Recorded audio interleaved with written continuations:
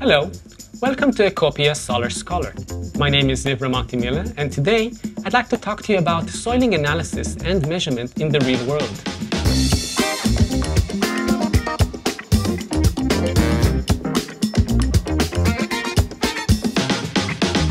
Contrary to popular belief, if you have your feet in the oven and your head in the freezer, on average, you do not feel fine.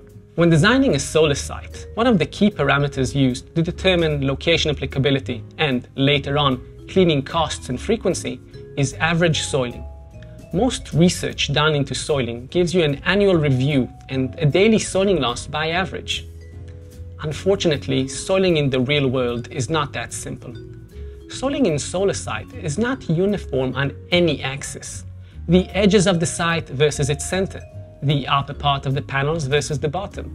August and April might have completely different types of soiling altogether. This usually leads to a few misconceptions.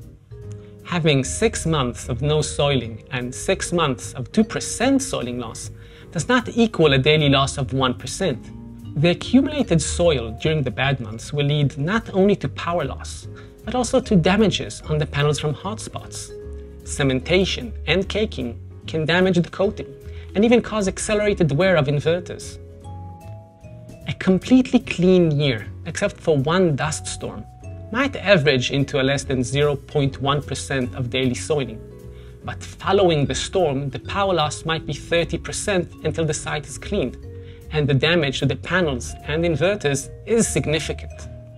It seems that even if only your finger is in the oven, you will still get burnt. Panels near the site's edge or road can have over 250% more soiling loss than panels nested mid-row.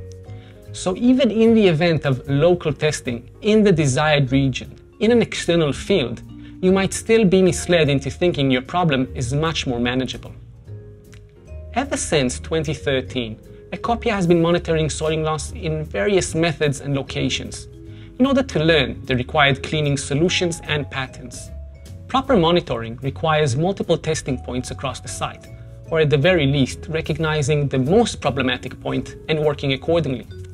When looking into soiling readings, you need to take into account seasonality and types of soil. Preferably, bring some of the dust, sand, or particles to test. Some soiling might be harder to clean than others. Admittedly, with a robotic cleaning solution, you can get daily cleaning at no added cost, so that's less of a hassle. But when designing a site, and in order to achieve proper visibility, remember that relying on averages is a mean mistake, as there is always some variance.